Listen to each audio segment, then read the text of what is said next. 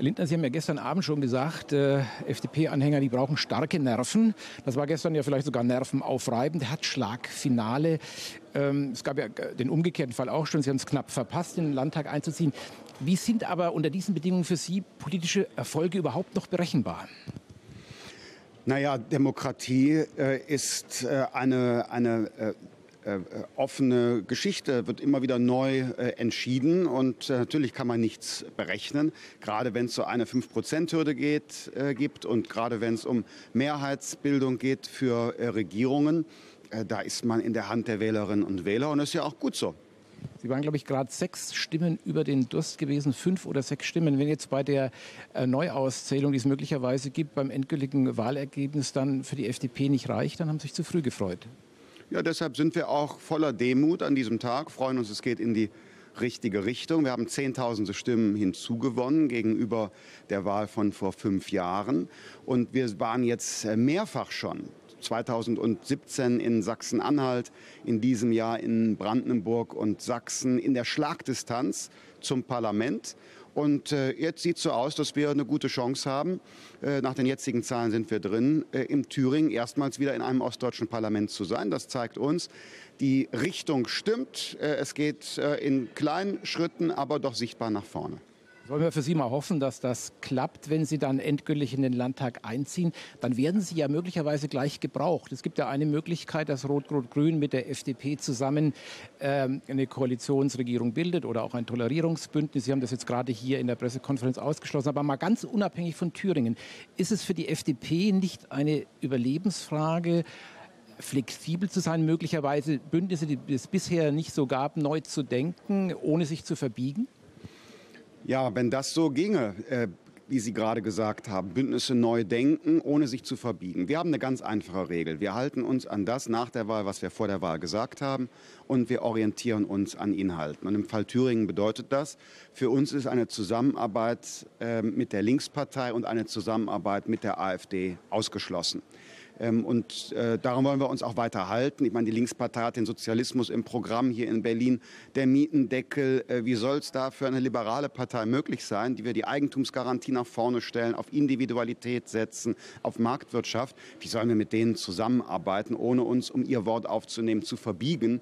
Äh, wir würden uns komplett der Lächerlichkeit preisgeben. Und für uns ist, wenn Sie so wollen, die äh, Frage der eigenen Zukunft, die Klarheit und Prinzipienfestigkeit. Die FDP muss erkennbar sein mit ihren Überzeugungen. Und dann gibt es auch Konstellationen, da können wir dann gestalten. Das haben wir ja in der Opposition hier im Bund schon getan, als wir die Grundsteuer repariert haben, aus der Opposition heraus und auch in Ländern wie NRW, Rheinland-Pfalz und Schleswig-Holstein in Regierungsverantwortung.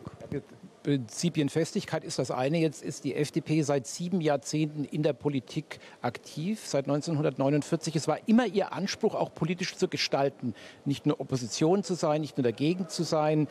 Ähm, wie wollen Sie denn das in Zukunft mit Ihren äh, politischen Zielen erreichen? Schwarz-Gelb ist meilenweit von einer Realisierung im Bund, auch in vielen Bundesländern entfernt. Äh, bedeutet das, was Sie jetzt gerade gesagt haben, dann äh, Dauerhaftigkeit in der Opposition? Im größten Bundesland Nordrhein-Westfalen haben wir ja eine schwarz-gelbe Regierung. Ähm, aber wir sind auch nicht auf die CDU einseitig festgelegt. In Rheinland-Pfalz regiert sehr erfolgreich eine Ampel. Für uns gilt keine Zusammenarbeit mit der Linkspartei und der AfD. Denn das sind Parteien, die wollen nicht eine andere Politik die wollen beide ein anderes Land. Die einen haben den Sozialismus im Gepäck, die anderen haben einen völkischen Kollektivismus, der sogar äh, nicht in der Lage ist, eine, eine, klare Grenzlinie zum Rassismus zu ziehen. Mit diesen Parteien, die ähm, ja grundlegend unser Land verändern wollen, in, in der politischen Kultur kann es keine Zusammenarbeit geben. Und darüber hinaus schaut man mal, äh, wenn Mehrheitsbildungen schwierig werden, dann kommt es auch auf jede Stimme im Parlament an, nicht nur bei der Wahl. Und dann kann man gestalten. Das machen wir jetzt ja sogar gegenüber einer großen Koalition. Denn immer wenn das Grundgesetz angefasst werden muss, brauchen die uns. Und da haben wir bislang unsere Karten immer ganz gut gespielt, um Anliegen unterzubringen.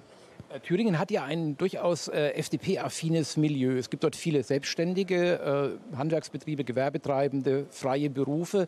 Trotzdem kommen sie nur auf 5 Prozent. 31 Prozent der Selbstständigen in Thüringen haben die AfD gewählt. Äh, warum kommt in einem solchen doch FDP-freundlichen Umfeld die FDP nur auf gerade mal richtig äh, genau 5,0 Prozent? Die FDP ist äh, keine Partei von Unternehmern oder Selbstständigen, äh, dass man ein Abo darauf hätte, jeder, der den Berufsstatus Selbstständigkeit hat, wählt FDP. Wir haben ein bestimmtes Lebensgefühl. Und unser Lebensgefühl ist geprägt von Optimismus, von Individualität, von Freiheitsliebe, ähm, vom, von der Lust auf Wandel, Zukunft und Fortschritt. Und das ist ganz unabhängig davon, ob man Beamter, ähm, ob man Rentner ähm, oder Unternehmerin ist. Und ganz offensichtlich gibt es viele Menschen, zum Beispiel äh, in Thüringen, die sind zwar beruflich selbstständig, die befürchten aber etwas äh, von der Zukunft ähm, und äh, wollen sich vielleicht flüchten in die Abschottung und die wählen dann AfD, trotz eines, eines Höcke. Und äh, wir setzen eher auf die, die im Wandel eine Chance sehen, die den Fortschritt eher beschleunigen wollen, die ihre Individualität und Freiheit leben wollen, aber auch die Großzügigkeit haben, dass andere in einem ganz vielfältigen, bunten Land leben können. Und da ist für uns in Ostdeutschland mitunter der Weg etwas weiter, weil das, das politische Klima gegenwärtig sehr, sehr stark geprägt ist von Ängsten. Nach einer aktuellen Untersuchung, die ich gelesen habe, gilt Thüringen als das Land, wo die gewisse Ängstlichkeit in der Gesellschaft sogar äh, am höchsten ist. Das macht für uns natürlich als äh, grundoptimistische politische Kraft ähm, die Arbeit oder den Weg weiter, die Arbeit härter. Aber warum verfängt das nicht, was Sie jetzt gerade gesagt haben, dass die FDP eben eine Alternative zur AfD ist? Das hat ja gezeigt, dass die FDP da offenbar nicht erfolgreich ist. Naja, wir haben unsere Stimmen mehr als verdoppelt, aber ich kann es gern noch mal sagen. Wir sind eine Alternative für Menschen, die einen Rechtsstaat wollen, auf den man sich verlassen kann.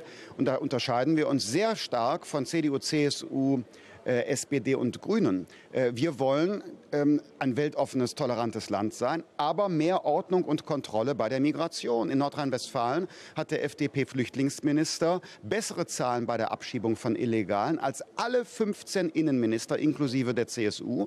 Zugleich haben wir das menschenfreundlichste Bleiberecht. Und das wissen viele Leute nicht. Deshalb bin ich dankbar dafür, das mal äh, zumindest nach einer Wahl auf, einem, ähm, auf einer, in einer Sendung sagen zu können. Die Leute wissen oft gar nicht, dass wir die eigentliche Alternative ähm, aus der politischen Mitte zu Union, SPD und Grünen sind. Äh, da brauchen wir Zeit. Wir waren in der APO, wir sind auch hier im Bundestag in der Opposition. Da braucht es länger, um seine Inhalte auch ähm, an äh, die Frau und den Mann zu bringen.